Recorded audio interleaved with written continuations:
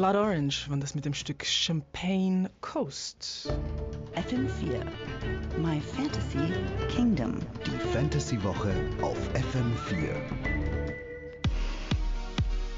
Ja, diese Woche geben wir uns verspielt und tauchen ein in äh, ja, die verschiedensten Arten von Fantasy Games. Äh, eine Art von Spiel, die diesbezüglich besonders wichtig ist seit den 70er Jahren, ist das Pen and Paper Game.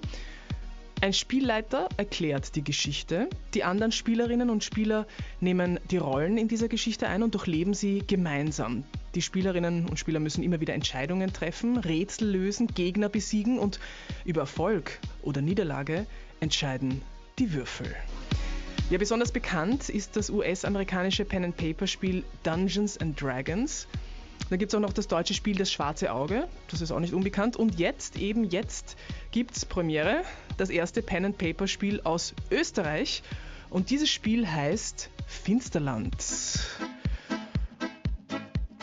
Ja, das sollen uns jetzt einmal die zwei Macher von Finsterland näher bringen. Gregor Eisenwort und Georg Pils heißen die beiden. Und äh, am besten, wir spielen einmal. In kleiner Runde. Conny Lee spielt mit. Los geht's. Vor einiger Zeit hat sich ein, ein Haberer von euch bei euch gemeldet.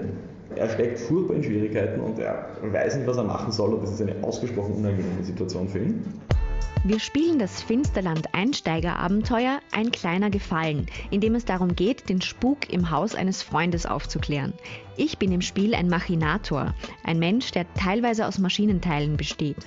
Finsterland orientiert sich am Mitteleuropa Anfang des 20. Jahrhunderts. Also es ist eigentlich ein Mischmasch von, sagen wir mal, französischer Revolution bis Erster Weltkrieg. Das Ganze ist ein bisschen aufgepeppt mit technischen Entwicklungen, die damals noch nicht so in der Form existiert haben. Also Dampfmaschinen, aber auch dampfgetriebene Ersatzkörperteile, wenn man im Krieg verletzt worden ist. Und immer populär in Rollenspielen Magie und Zauberei. Ausgehend von diesem Setting und dem dazugehörigen Regelwerk können die Spieler sich selbst alle möglichen Geschichten konstruieren. Dabei können sie wie ich einen Machinator spielen oder eine Diebin, einen Magier, einen Ritter oder eine andere Figur aus der Welt von Finsterland. Die Eigenschaften der eigenen Figur werden dann durch die Würfel bestimmt und auf einer Art Formular, einem sogenannten Charakterbogen, festgehalten. Also ich bin länger Rollenspieler, als ich nicht Rollenspieler bin. Und irgendwann einmal hat sich dann ergeben, dass wir ein eigenes Ding machen. Und im Laufe der Zeit ist es gewachsen und dann habe ich irgendwann begonnen mitzuschreiben.